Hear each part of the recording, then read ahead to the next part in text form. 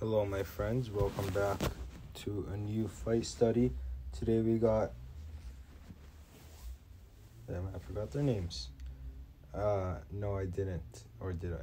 We got Hedgemon Lewis versus Jose Napoles. Pretty sure I pronounced that wrong. Uh, I've watched this fight until the sixth round, so I'm going to be excited to see the rest of it. It's a very good, very nice first six rounds. It's a 15 rounder uh, or something I want to say. Uh, Jose Napoles is the champ, and Hedgemon Lewis is the number one contender, I believe, at this time. Uh, something I just want to point out right now before we get into the fight is uh, Hedgemon Lewis, who's in the blue. He is uh, he plays a jabbing game. Jabbing game is basically where you jab, you get the other guy to jab back. You do that a couple times, and then you counter them so we're gonna be look uh, on the lookout for that. Uh, yeah, let's get into it. So I saw every time Lewis threw a jab, uh, his opponent Jose Napoles would jab back. We'll see how that plays out later in the fight.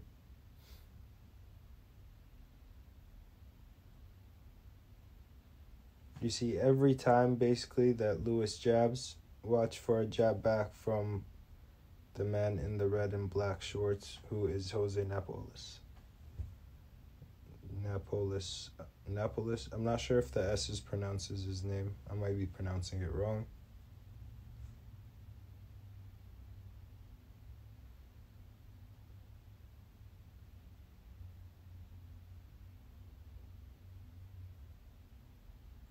Uh, also, Lewis is gonna be uh, throwing some doing or pulling off some really good feints in this fight. So we'll also keep a lookout for that. We'll see how uh, responds to those feints. You saw another feint right there. A little small feint. Just seeing what's up. Nice, some nice feints right there. Before that jab came out. We'll see. We'll replay it.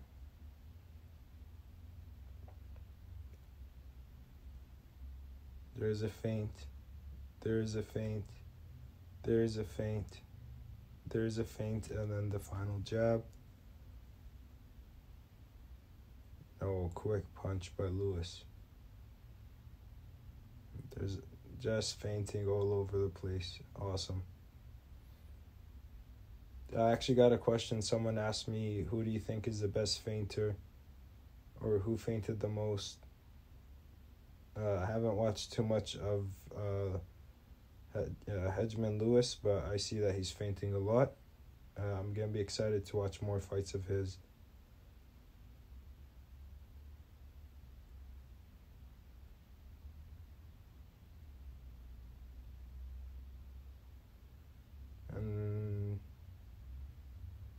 Uh, from what I saw, Napoles looked like the heavier puncher, but Lewis looks quite quick.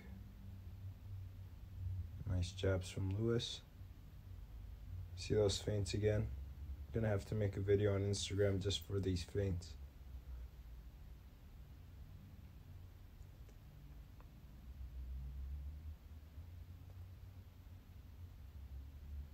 Now, the reason I'll I'll go into a quick tear about why feints are so uh, believable in boxing. Why is, why would Napoles, who's a great fighter, or any fighter, res, uh, respond to a feint like this?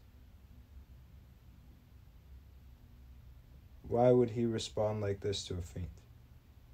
Now, boxing is a very high stress situation. I always equate boxing to war, like a soldier in war uh, because there's so much uh, risk in in a fight.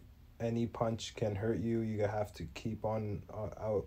You have to keep an eye out basically at all times on your opponent. Uh, any movement from the opponent, you're reading this if you're Jose Napoles So you're keeping your attention. Any move, you have to respect it because that move could be a punch that could catch you and hurt you. So because it's such a high risk and high stress situation, Any move that an opponent does, even if it's Jose Napoles feinting, Hedgemon Lewis has to respect it because that move could be a punch. And that's why feints work so good. It's not like uh, if it's not like um, I don't know what to equate it with, but it's not like if you feint, there's no risk. If your opponent feints, there's no risk that they might get you and the risk is getting punched. So because it's such a high risk, you have to respect the feint because, like I said, that feint you're not sure if it's a feint. Now, a good fighter respects a feint, but they're not scared of it. Uh, most of the time, if you're feinted, you feint back. Uh, another quick thing, I know sometimes I talk a lot and pause the video, but I'm sorry about that. Another thing is, uh, if you feint too much, you start uh, being unbelievable. So the opponent starts to think, okay, this guy just keeps feinting. What I like to do when I feint a couple times, I throw a punch, even if it doesn't land and I know it's not going to land. Uh, I throw a punch. I want my opponent to know that I'm not just bluffing with my feints. I want to know that there's something coming behind those feints. So feinting too much without punching, that makes you unbelievable. Beautiful uppercut right there by Napoles, Napoles, Naples. Let's see this interaction right here. I don't like how this video is cut. It's pretty uh, short. You kind of miss some of the action, but it's the best video I could find of this fight. Nice uppercut. Now Jose Napoles, I've watched uh, maybe five of his fights. He throws really good uppercuts with both hands. Uh, mostly the right uppercut. He's very good at that one. He threw one right there, then came back with the hook. Nice jab from Lewis. Nice slip. Lewis is very sharp, very fast. They both look extremely uh, alike. I had a trouble figuring out who was who until the commentators started talking.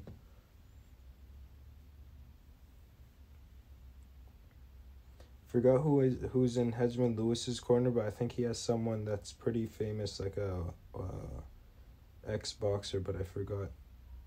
I forgot who. Uh, Angelo and Angelo Dundee was the guy that uh, trained Jose Napoles, I believe.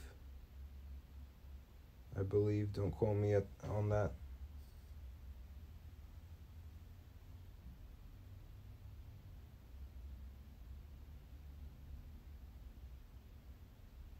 Very good shape. Both both fighters are in very good shape. Napoles does that little dip with his legs before he, the start of the round, which is pretty uh, counter and counterproductive to saving energy. Most fighters sometimes even get picked up. Uh, their uh, their uh, trainers pick them up, help them uh, off the off the stool so they save energy. Now this is what I meant when uh, I'm I'm not sure if uh, Hedgemon Lewis was setting up to play the jabbing game or he just noticed that every time that uh, Nap uh, at that he jabbed Napoles would come right back at him. So maybe he picked it up in this in this uh, in these early rounds and then he started to implement this uh, game plan a little bit more. I'm jabbing at someone and I always see them, they jab back at me, then I know I can counter them, counter their jab in the future. That's why I don't like jabbing back every single time. I like jabbing back, but uh, at times, most of the time, but not every not every time. And that's the boxing mind. You want to do stuff, you want to jab back to not get out jabbed, but you don't want to jab too much where the opponent can set you up for a counter. And that's the small details of a fight.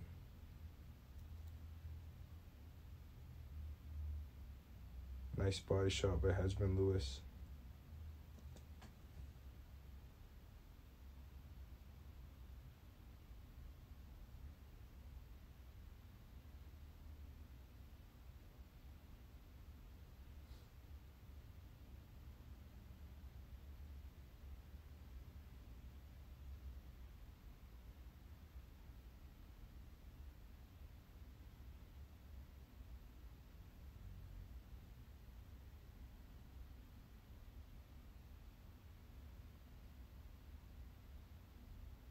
Nice jabs.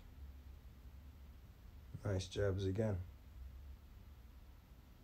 I'm gonna have to watch more of Hedgemon Lewis because this performance uh, really, I really like this performance. Really, really good uh, game plan and execution.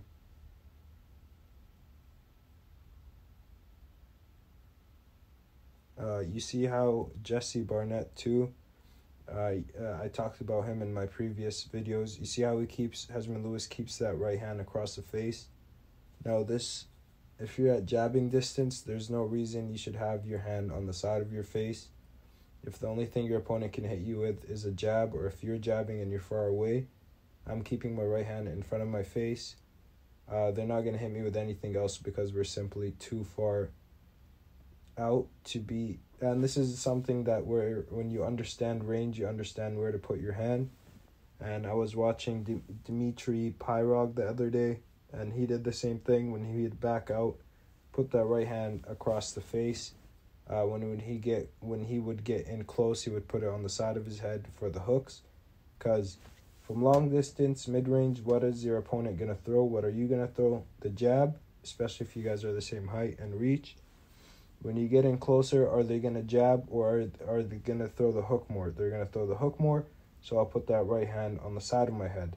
Now, uh, some fighters jab in short distances, they throw short jabs. So that's what I like doing when someone constantly has their uh, right hand on this side of the face and close because they think the hook is coming.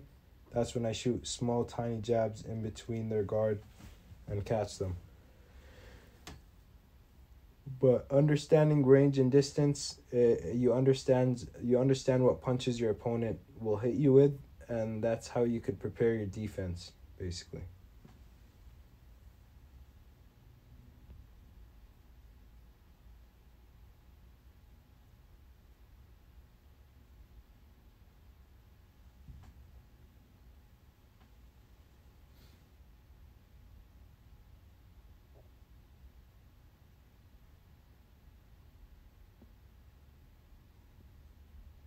nice body shots by Napoles. Napoles. Uh, I really don't know how to say his last name. I, I'm sorry again if I mispronounce it.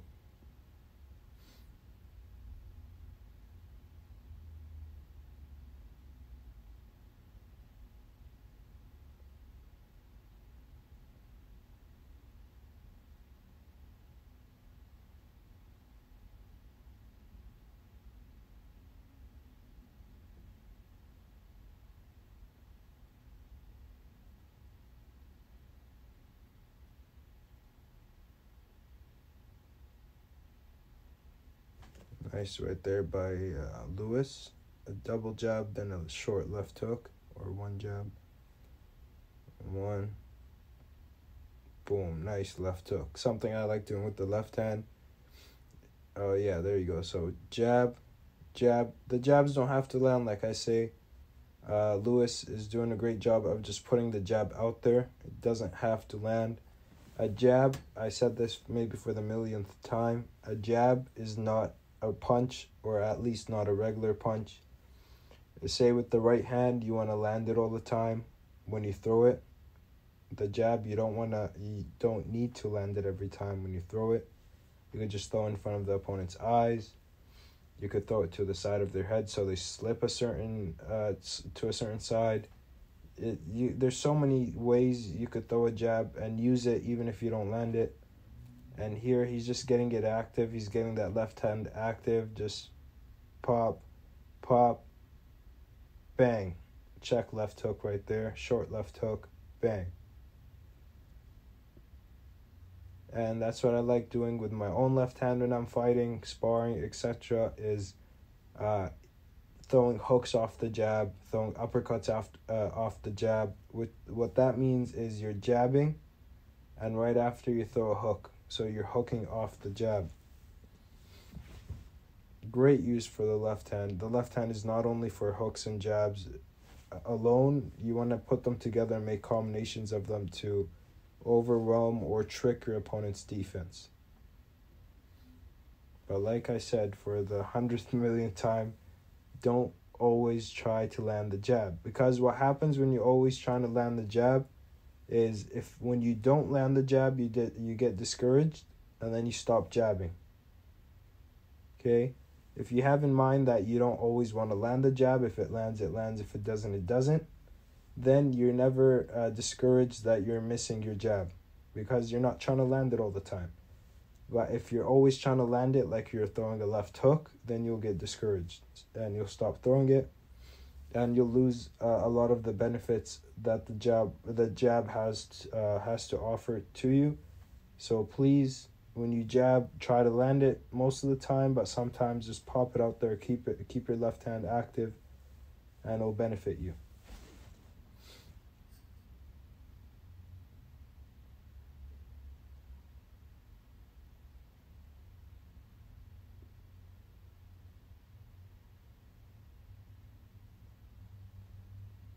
There Napoles does that little dip before he get after he gets off the stool. So far, I'm, I'm liking what Hedgemon Lewis is doing in this uh, first two rounds. This is the third round. Napoles is doing good work too.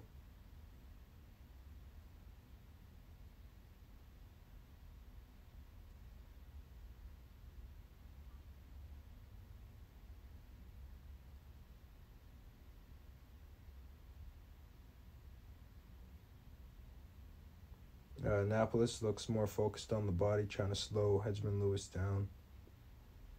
Uh, Lewis is playing a good game right now with his jab, his feints.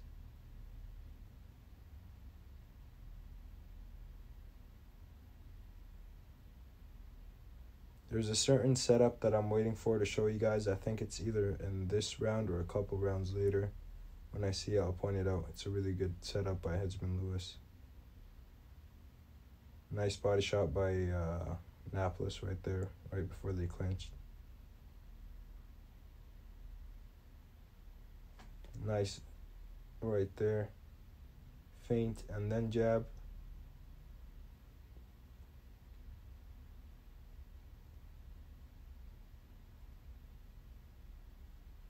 Feint, pop. Or that wasn't a feint. That was uh, he was actually popping a jab right there. Oh yeah, this is the setup actually. Okay, we're gonna rewind this. I'm sorry for rewinding a lot today.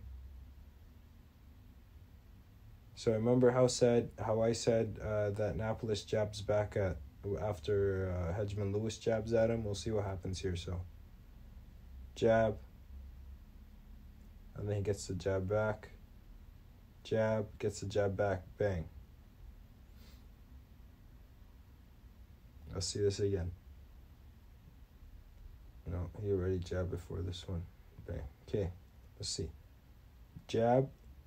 He gets a jab back. Jab. Gets a jab back. Counters that jab. Okay, that's what I meant by Hedgemon Lewis plays the jabbing game is he'll jab at you so you jab back at him. And then he counters your counter jab. Now, what does Lewis do after catching Hedge, uh, Napoles with the right hand? He's going to feint it now because he just hit him with it.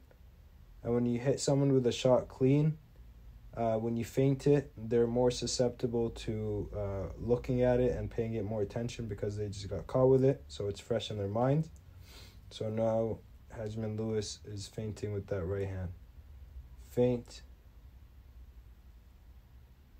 Feint but what does he do? He feints it, switches over, and comes back with the left hook. That was the setup I was talking about. We're gonna rewatch the whole thing again, and then see if you see what I was talking about.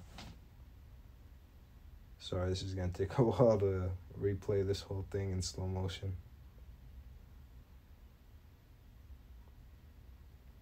Okay, you guys ready? Let's watch this.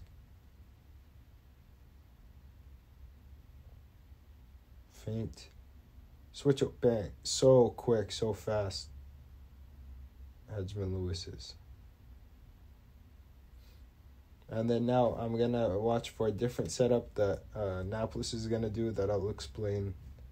I'll explain that. Nice left hook.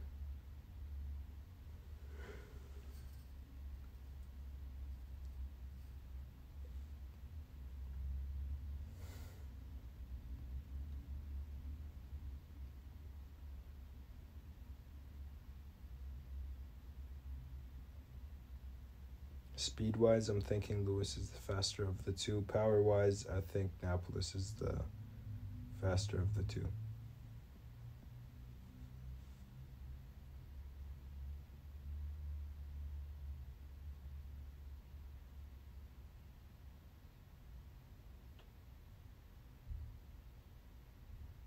Now we saw that uh, that setup I just uh, broke down a little couple seconds ago. Nice. Uh, I talked about how Hedgemon Lewis uh, slipped to the left, kind of switched his weight to the left before he threw that left hook. So we're gonna see if he feints that same thing uh, later in this fight. Lily small. You see those little stutter steps? Stutter steps are when you take really short steps with your feet. Nice jab. Usually people stutter step with uh, small jabs before throwing a big jab or a real jab. Like stutter, stutter, stutter, pop, so the opponent doesn't know when the real jab is coming. You see that right hand across uh, his face, covering the left side. Hedgemon Lewis.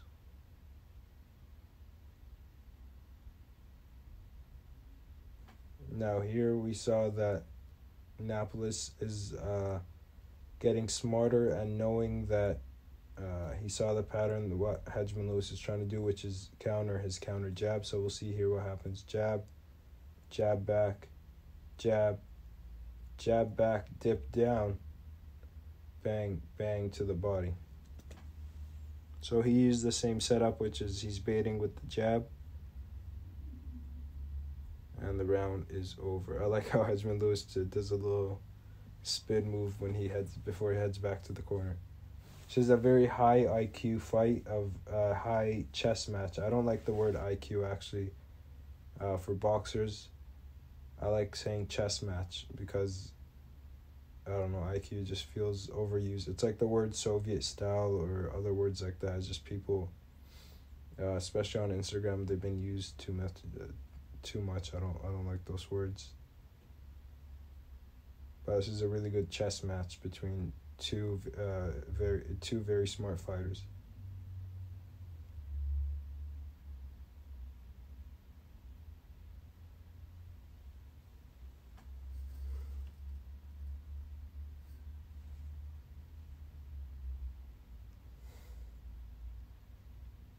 So you see here how his uh, coach Hedgemon Lewis's coach, I think he's going to help him up while uh, Jose Napoles takes a little dip after he gets off the stool.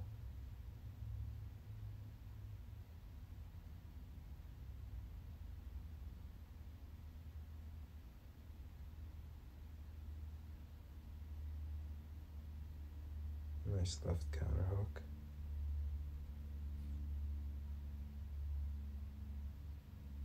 See those small feints that Hedgemon Lewis is doing. And that's the type of feinting you have to do just to land a jab on a great fighter like Jose Napoles.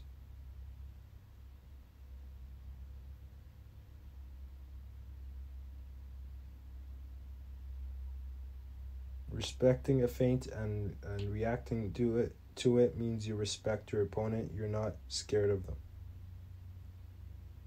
Because if you don't respect it, then when they feint you and throw something big off of it, you're not going to be ready to, to defend.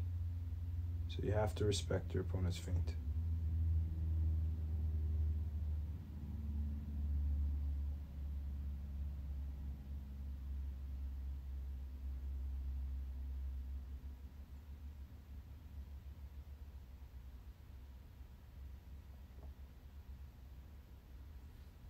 Nice little low blow by uh, Jose Napoles. I think that was a low blow.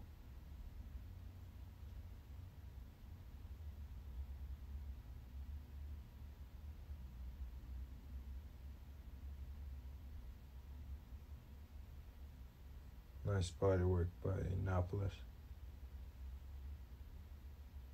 Uh, this brings me back to something else that I mentioned before in Alexis Arguello's fight studies is I'm not sure who wins this fight because I only got to the sixth round, but uh, I mentioned this with uh, Arguello is in the early, earlier rounds you won't know th- that he's actually that much better than his opponent or that he's the champion if you don't know who he is and you're just watching a fight.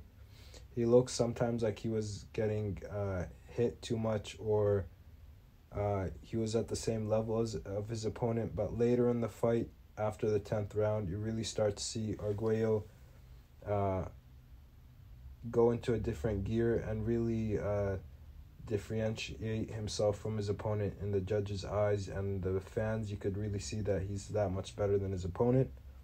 That might be the case with Jose Napoles. A lot of great fighters, they start off uh, really studying their opponent.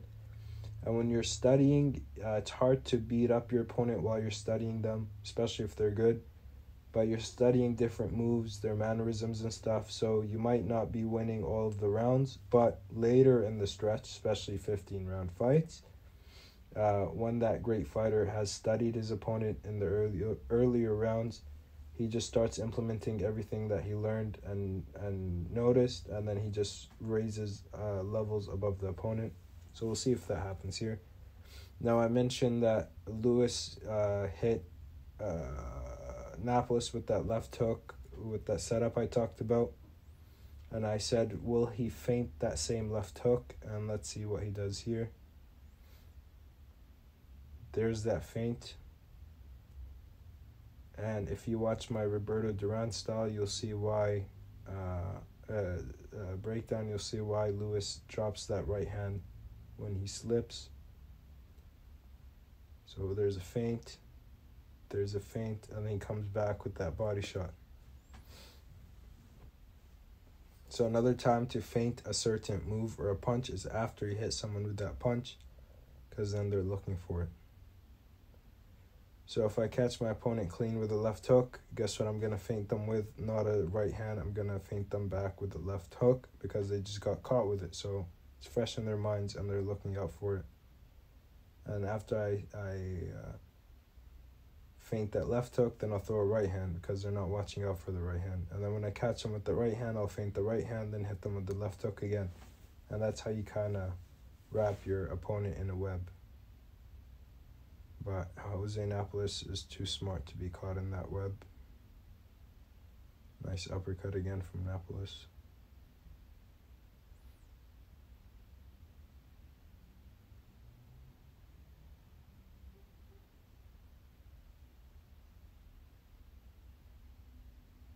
Nice jab. That was beautiful right there. Like I said, Hedgemon Lewis is very quick. I gotta watch more of his fights. Feint, bang, hooking off the feint. So you could hook after you throw a jab, or you can feint the jab and go with the hook. There's a billion options to do with the left hand, uh, with the jab, the hook, and the uppercut, and feints. So many different things you can do with it. Nice right there. He switch over to the side, come back with a left hook from Lewis. That was the end of the fourth round, I believe.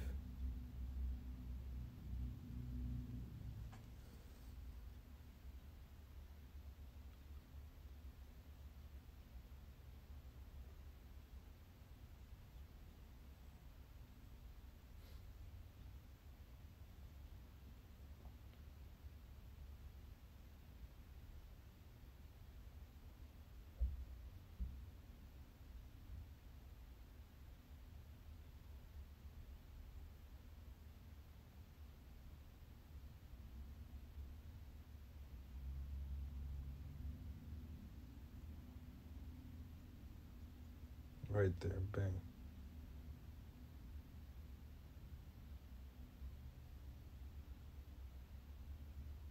I think this is where the uh, the setup I was talking about that Napoles does. I think he does it in this round or the next round. I'm not sure.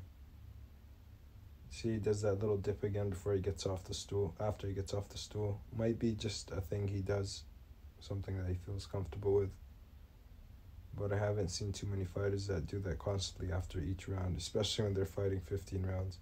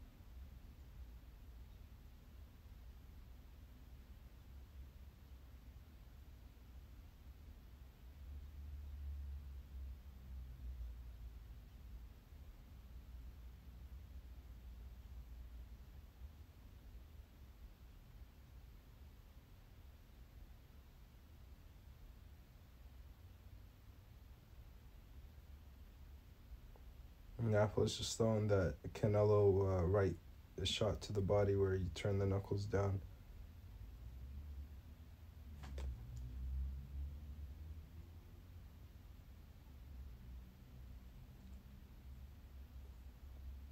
So Napoles is doing the same thing that Lewis did, which was switch that weight over to the left. Come back with that left to the body. Beautiful.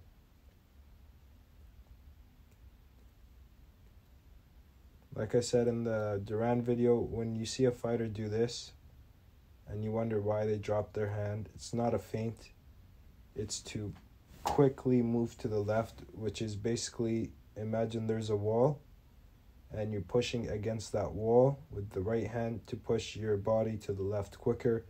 Or if you're underwater, you push the water this way to move this way. So it's just just bang, makes you move faster bang, and then body shot.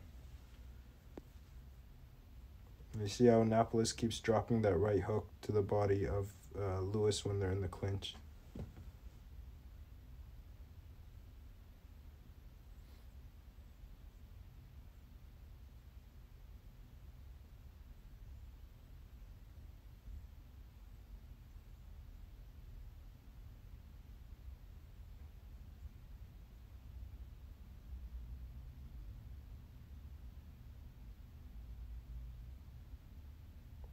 Nice body work by Napoles. I really wish they brought the 15 rounders back. I think 12 rounds aren't good, aren't enough for two great boxers to to see a boxer actually break down another fighter. That's why I like 15 rounders. You really saw who was the better conditioned, better fighter in 15 rounds rather than 12. 12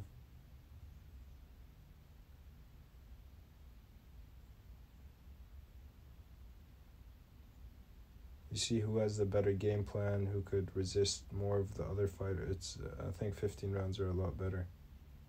More of a health risk though, so I think I'll, I don't think they'll ever be back.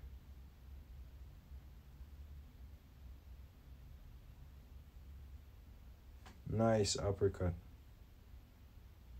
Like I said, Napoles with his uppercuts slips that jab, comes up top with that uppercut. I might have just glanced or I might have caught clean, but I can't tell. Then nice body shot right after. No, I said Arguello, he does the same thing in the first couple rounds. He kind of seemed uh, not that good, but he really starts to turn on his gears in the fifth to seventh round, and then he pulls it all the way through to the 15th round. And I believe that's what, uh, pa- uh, not Panama Lewis, uh, Jose Napoles is doing in this fight. He's starting to really turn up the pace in the fifth round, and we are going into the sixth.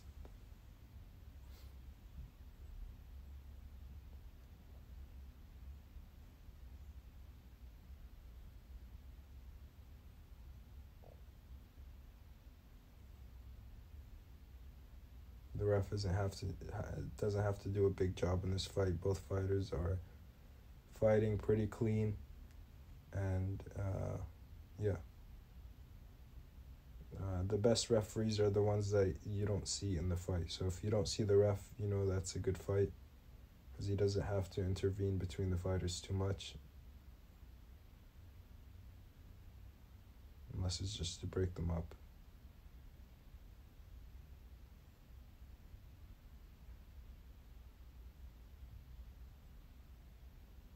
See that right hand across the face.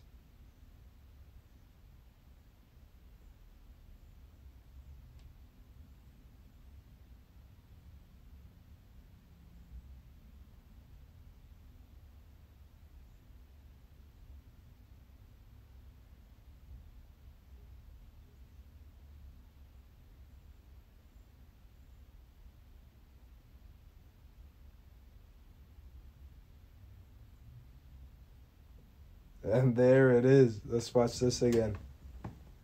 So remember how uh, Lewis countered uh, Jose Napoles with the jab? Well, look what Napoles does here. He he knows that uh, Lewis likes to uh, counter his jab, so he does the same thing to him. So sees the jab come, so pop, leans back out of that one, jabs back right away. Now he knows that a right hand is going to come back, gets out of the way of that one, and then counters the counters counter with the right uppercut. When I say counters, the counters counter. So Lewis jabs. Right? Napoles counters, with the jab, but he knows he's going to get countered. That's the counter from Lewis. And then Napoles counters the counter from Lewis with the right uppercut and then goes under the left hook and ties him up. Beautiful sequence. Uh, this is why I said this is a high level chess game, chess match is both fighters are studying each other and picking up on each other's habits and working off of that.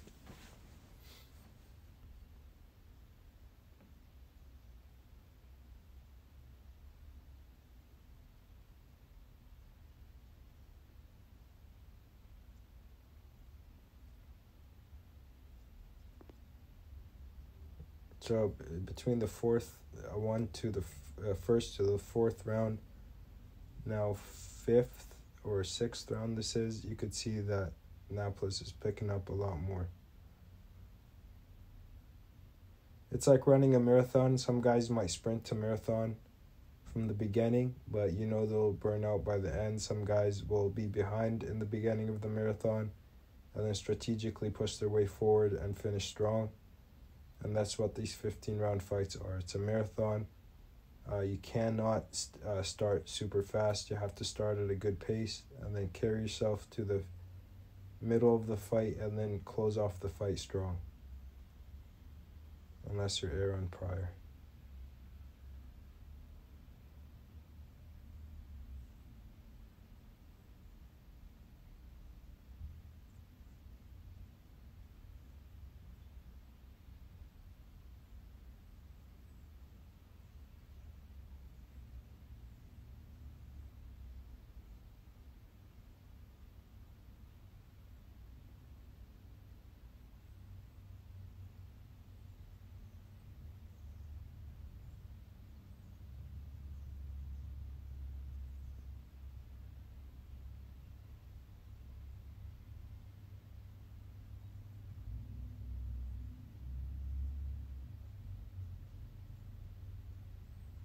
Uppercut from Napoles on the inside.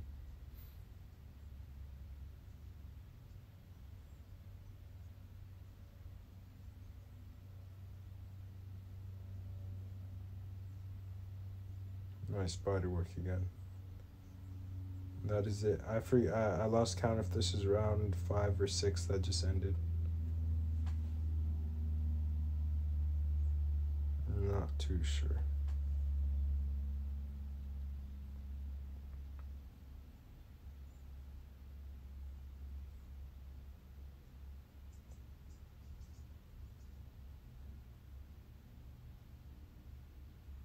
There's that nice right uppercut.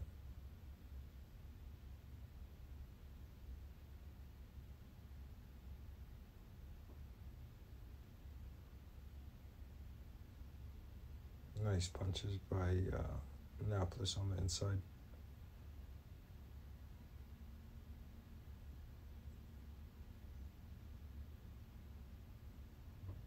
Some smelling salts. Nice cardigans that the corner has. See, does that dip again.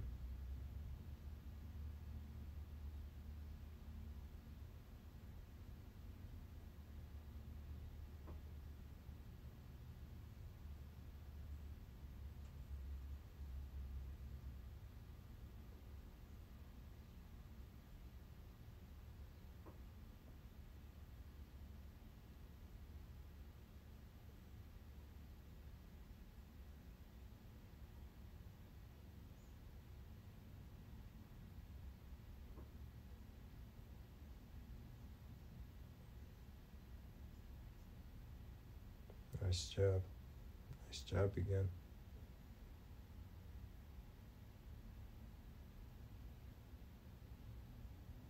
Nice right hand. Nice job. The last two rounds we really saw uh, Napoles pick it up, pick up the pace a little bit, and land more punches. And the more eye-catching punches.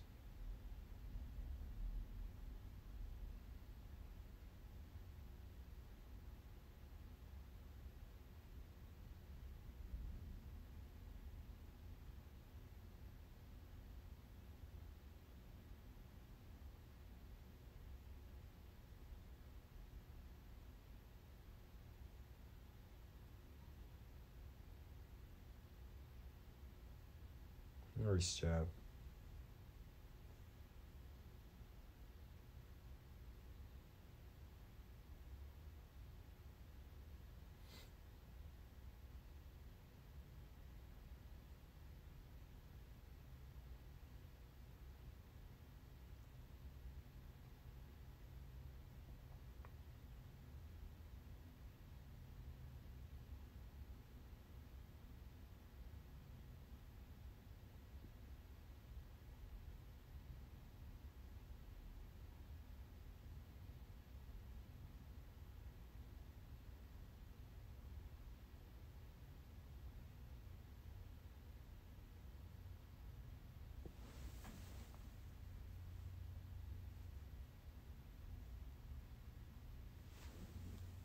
Nice uppercuts. I'm I'm saying Napoles was very nice with his uppercuts.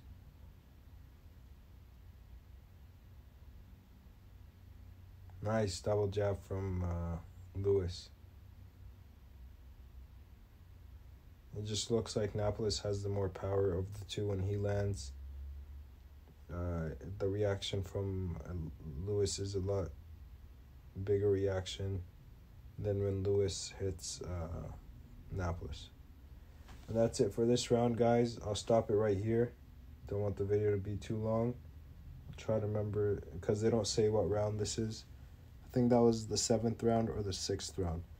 Uh, yeah, I want to talk about uh, the jabbing game, where is where it's when you're jabbing back and forth to get a jab out of your opponent and counter them.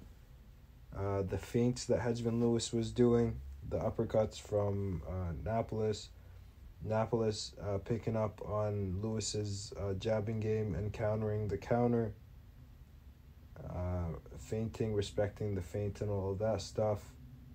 Uh, the marathon, how uh, uh, long fights you have to pick when you're going to press the pace. You can't press the pace from the first round because then you'll tire out by the end. So that's where experience comes in, where you learn where uh, where to kind of stay on a low energy expenditure and then push it through the roof towards the end to close off the show nice. Uh, yeah, I'll be back with part two maybe tomorrow or the day after. Appreciate you guys for watching, and I'll see you guys next time. Bye.